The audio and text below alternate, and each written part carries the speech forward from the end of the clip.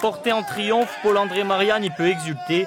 Sa joie est à la hauteur de sa performance. Le Vénaquet, au volant de sa Skoda Fabia, signe sa première victoire en rallye. On est content. De votre côté, c'est vous signer une première victoire ici Première victoire, c'est mon premier podium depuis que je, fais les rallyes. Donc, euh, premier podium, première victoire. Un week-end parfait pour Ah oui, plus que parfait. Les rebondissements n'auront pas manqué sur les routes du Fiumorbo. Samedi, c'est Jean-François Soucci le premier à s'illustrer. Sur Skoda, il attaque pied au plancher et signe les deux premiers temps scratch. Mais alors qu'il est en tête, une crevaison dans la spéciale de Serrail Fiumorbo lui est fatale. Ça fait quatre fois que je suis en tête et quatre fois que je le perds, parce que à mon avis, à la régulière, ce sera pas possible. Donc, on peut considérer qu'on l'a perdu, mais euh, c'est comme ça. Celui qui en profite, c'est lui, Georges Morakine. À l'attaque, il prend le leadership et creuse l'écart avec ses poursuivants. Il relègue Paul-André Mariani deuxième à une vingtaine de secondes.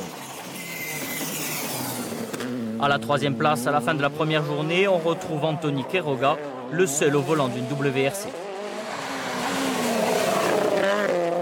je suis très content parce que j'ai jamais été en tête d'un rallye et c'est le premier, donc euh, voilà. Euh, demain, quelle stratégie vous allez adopter?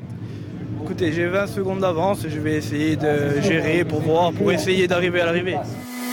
Mais l'arrivée, Georges Morakini ne la verra pas.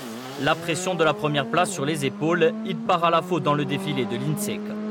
Nouveau changement en tête donc, c'est le Vénaquet Paul-André Marianne qui prend les commandes et il ne les lâchera plus jusqu'à l'arrivée.